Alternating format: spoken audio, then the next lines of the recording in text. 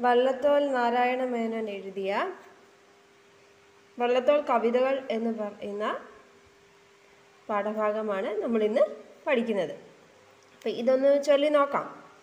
ടീച്ചറുടെ കൂടെ നിങ്ങൾ ചൊല്ലുമോ? ആ നമുക്ക് ചൊല്ലി തുടങ്ങാം കേട്ടോ. മാൺപിയെന്നു വിളങ്ങുന്നു മലയാളം മനോരമം.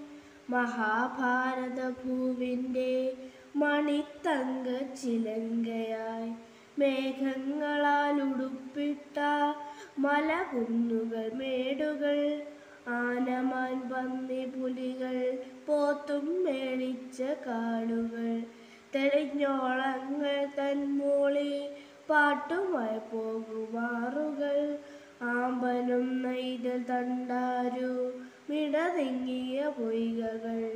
വിചിത്ര പക്ഷിച്ചിറകിൻ മഴവില്ലാർന്ന ശാഖികൾ പുലാവും പുളിയും മാവും വാഴയും വച്ച തോപ്പുകൾ അശോകം ചമ്പകം പിച്ചി മുല്ലയും ചേർന്ന വാടികൾ പശിമപ്പെട്ട പാടങ്ങൾ പശുമയും പറമ്പുകൾ നാനാ പ്രകൃതി സൗന്ദര്യ പ്രദർശന മണിക്കളം കല്ലോലാസത്തളം വെൽവു കേരള ഊരിമംഗളം വള്ളത്തോൾ നാരായണ മേനോൻ എഴുതിയ വള്ളത്തോൾ കൗതികളിലെ ചില ഭാഗങ്ങളാണ് മലയാളം എന്ന പാഠത്തിൽ ഇവിടെ അവതരിപ്പിച്ചിരിക്കുന്നത്. ആധുനിക കവിത്രയത്തിൽ ഉൾപ്പെടുന്നു. വള്ളത്തോൾ നാരായണ മേനോൻ അത് ആധുനിക കവിത്രയത്തിൽ ഉൾപ്പെടുന്നു. ആയിരത്തി എണ്ണൂറ്റി എഴുപത്തി എട്ടിൽ പൊന്നാനിയിൽ ജനിച്ചു.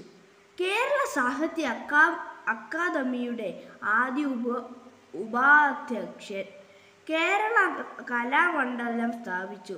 സാഹിത്യ മഞ്ജരി പതിനൊന്നാം ഭാഗം ബന്ധനസ്ഥനായ അനിരുദ്ധൻ മഗ്നലമറിയം കൊച്ചു സീത ശിഷ്യനും മകനും അച്ഛനും മകളും ചിത്രയോഗം മഹാകാവ്യം ബധിരാവിലാപം എന്നിവ പ്രധാന കൃതികൾ. ആയിരത്തി തൊള്ളായിരത്തി അമ്പത്തി അഞ്ചിൽ അന്തരിച്ചു.